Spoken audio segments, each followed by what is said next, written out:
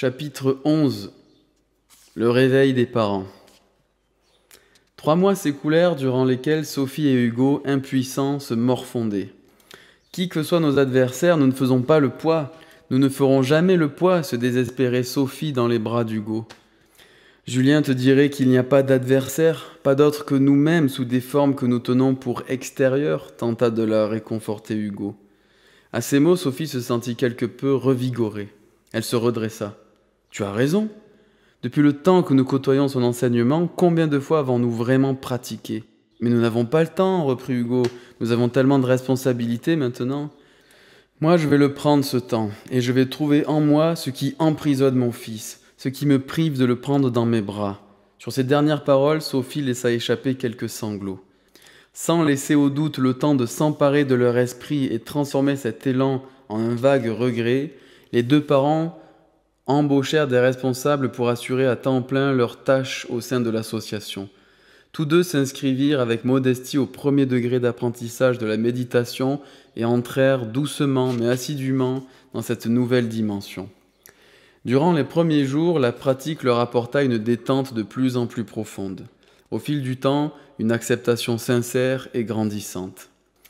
Après une vingtaine de jours de pratique intensive, Sophie et Hugo s'étaient délestés de leurs angoisses, qui cédèrent le pas à une sérénité et à une confiance nouvelle. Un grand mystère les animait cependant. Pourquoi, se demandait-il, avaient-ils attendu aussi longtemps pour s'y mettre?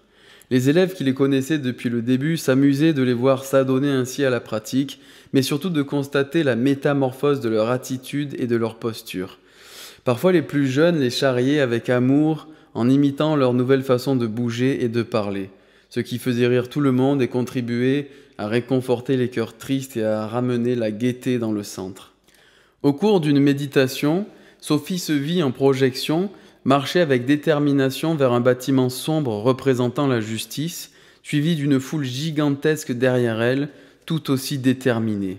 Dans cette vision, elle sentait son fils et les maîtres qui l'accompagnaient la soutenir et l'inspirer.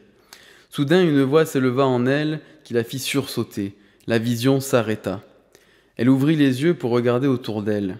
Garde les yeux fermés, c'est en toi que ça se passe. N'aie pas peur, ton fils est passé par là. Sophie avait très peur. Mais elle sentit qu'il fallait qu'elle reste assise pour écouter cette mystérieuse voix. Je suis Turgaji, celui qui a enseigné à Julien la pratique et l'a accompagné jusqu'à sa naissance spirituelle. Toi et moi, nous avons un point en commun. Nous l'aimons inconditionnellement. Félicitations à Hugo et à toi pour avoir fait le grand saut. Vous allez rencontrer des gens qui vont vous aider à rendre justice. Cela sera possible quand votre cœur sera devenu noble, totalement libéré de toute colère. Kaliala, sache que ton fils est avec vous chaque jour et que nous serons tous là pour la grande aventure qui t'attend. Sophie ne répondit rien. Des frissons parcouraient tout son corps. Elle était à la fois trop intimidée et trop incrédule pour donner suite à la conversation. Elle se leva, se regarda dans un miroir et s'adressa à voix haute à son reflet. Kaliala C'est moi? Quelques jours plus tard, Hugo invita à dîner chez eux un ami de longue date, un certain Robert, qu'il n'avait plus vu depuis des années. Vint un moment de la soirée où Robert porta un toast, révélant sa toute récente promotion professionnelle au sein de la chaîne de télévision la plus importante du pays. L'entendant, Sophie sentit le même frisson que celui qu'elle avait senti en présence de Tourgadji. Elle comprit que la présence de cet homme avait un lien avec les prophéties du maître. Elle se retira discrètement dans la cuisine pour accueillir la vague irrépressible d'émotions qui la faisait déjà vaciller. Appuyée contre l'évier, des flashs apparurent devant ses yeux. Elle dut se tenir pour ne pas tomber. Elle se vit de nouveau marchant avec détermination devant cette foule immense. Elle vit aussi son fils dans sa cellule qui méditait inlassablement en ce moment précis. Elle sortit de la cuisine et l'air décomposé, les larmes aux yeux, fixa l'invité avant de rompre l'épais silence que son attitude avait provoqué. Merci Robert, soyez béni. Les deux hommes se regardèrent interloqués. Prabhayat, pendant ce temps, fidèle à lui-même, méditait. Il était parfaitement serein. Il ressentait de l'empathie pour cet homme que l'on avait chargé de le mettre en prison.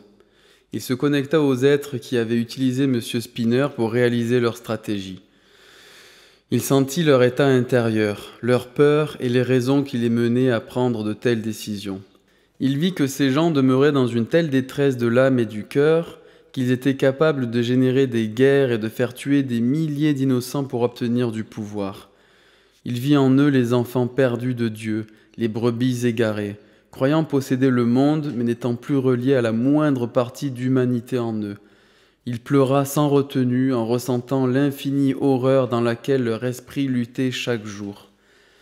Il pouvait remplacer des rois et des présidents en un claquement de doigts, faire construire des villes entières pour leur propre famille, obtenir des pays, soumettre des peuples, faire cheminer les richesses du monde, transformer en argent jusque dans leurs poches, mais ils n'avaient jamais ressenti la paix, jamais. Jamais leur cœur, ne fût-ce qu'une seule seconde, n'avait battu pour quelqu'un d'autre.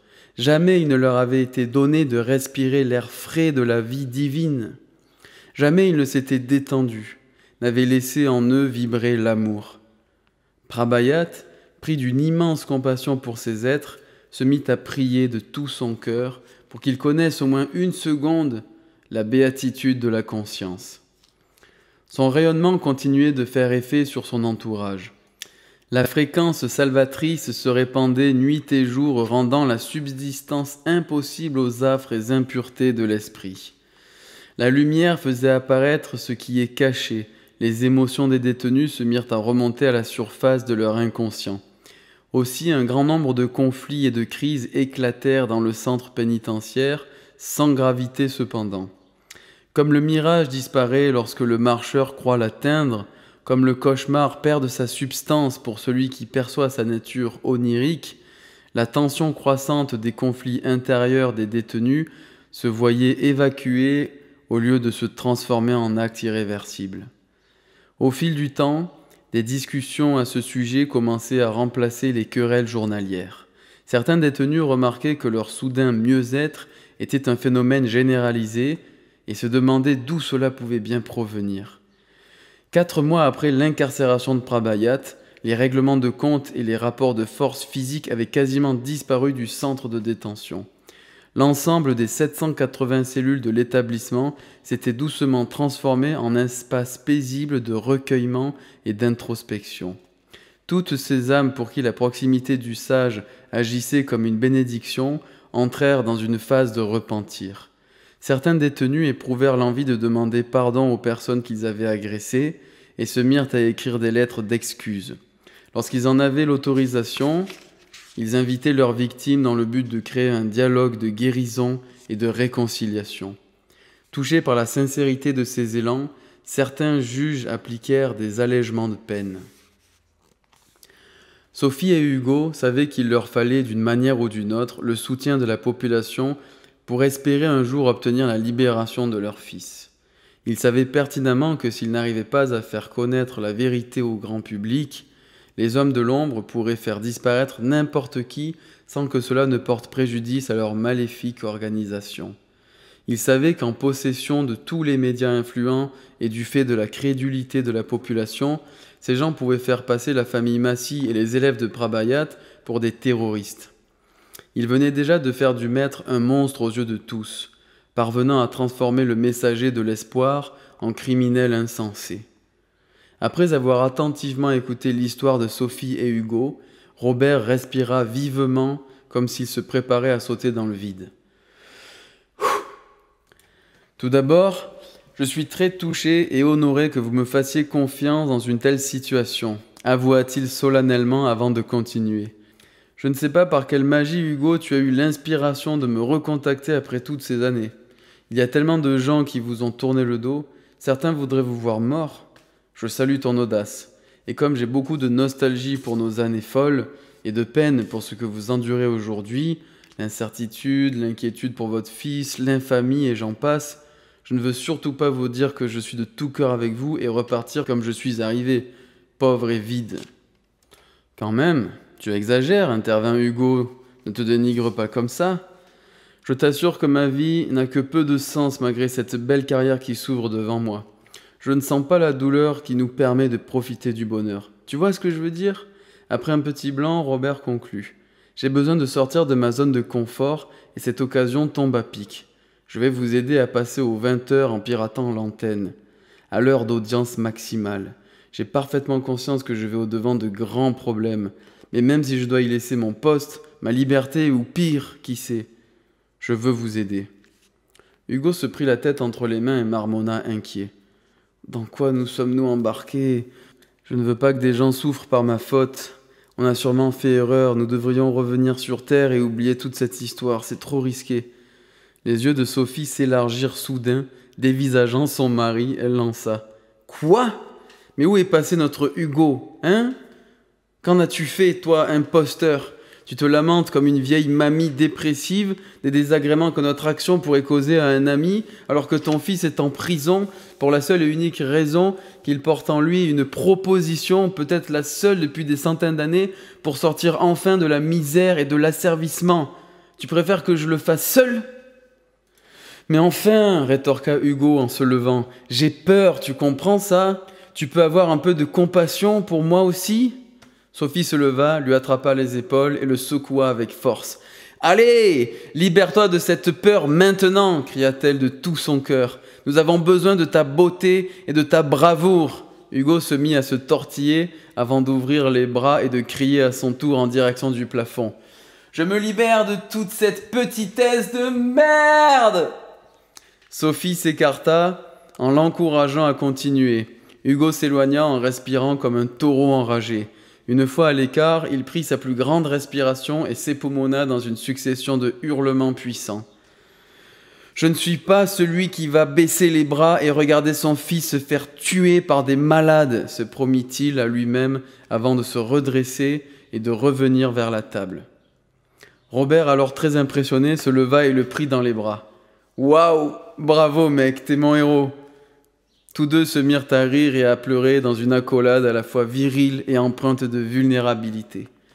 Sophie restait assise sur sa chaise, droite comme un piquet, en centrage profond pour savourer le spectacle réjouissant que son mari venait de leur offrir. Elle ressentait aussi, bien sûr, Julien qui leur envoyait une vague de gratitude et d'amour pour cette magnifique transmutation.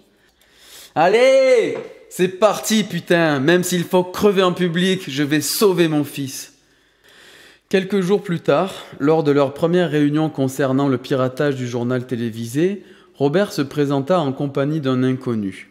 Sophie et Hugo n'étaient pas rassurés. Aussi appréhendèrent-ils ce nouvel invité avec beaucoup de précautions. Je vous présente Jean-Rémy Léopold, le président directeur de la chaîne, annonça Robert avec excitation et fierté. Que faites-vous ici demanda Hugo méfiant. Je veux vous aider, répondit Jean-Rémy avec détermination. À ces quelques mots, les deux parents sentirent une chaleur incontrôlable monter dans leur ventre jusqu'au cœur.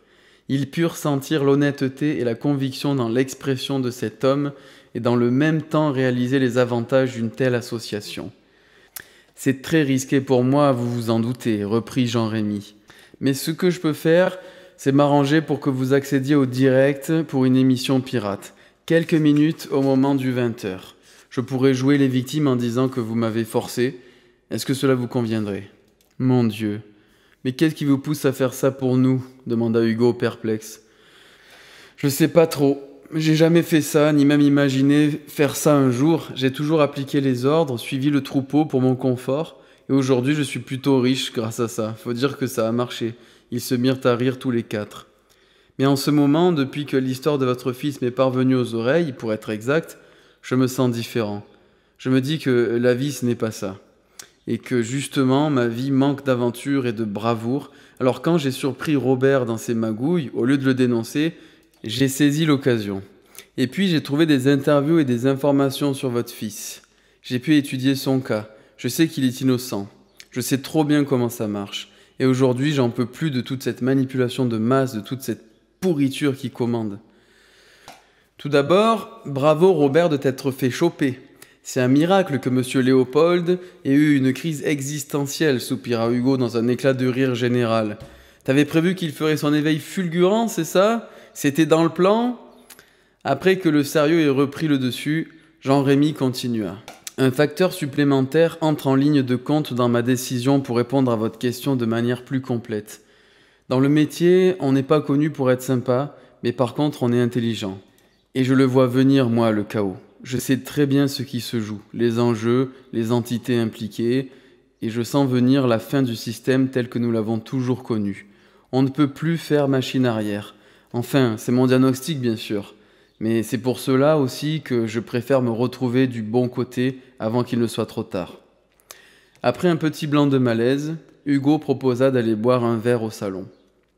Sophie et Hugo entrevoyaient enfin une lueur d'espoir, une possible porte de sortie pour Julien, lointaine, incertaine, mais réelle.